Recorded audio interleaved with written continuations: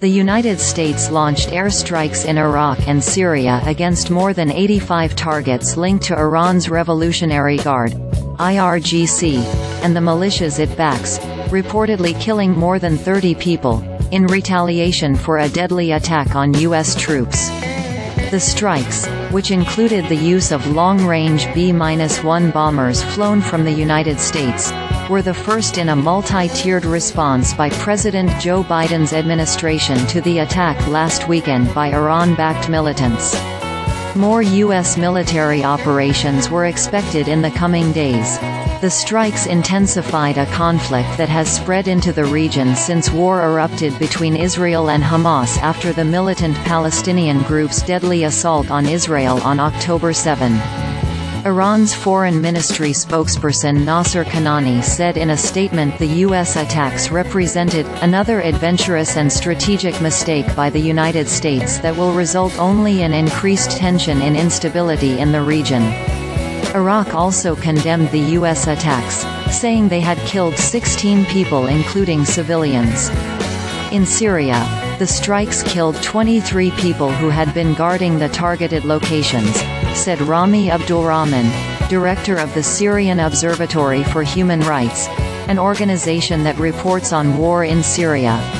U.S. Lieutenant General Douglas Sims, the director of the Joint Staff, said the attacks appeared to be successful, triggering large secondary explosions as the bombs hit militant weaponry. He said the strikes were undertaken knowing that there would likely be casualties among those in the facilities. Despite the strikes, the Pentagon has said it does not want war with Iran and does not believe Tehran wants war either, even as Republican pressure has increased on the Biden to deal a blow directly. Iran, a backer of Hamas, has sought to stay out of the regional conflict itself, even as it supports groups that have entered the fray from Lebanon, Yemen, Iraq and Syria the so-called «axis of resistance», that is hostile to Israeli and U.S. interests.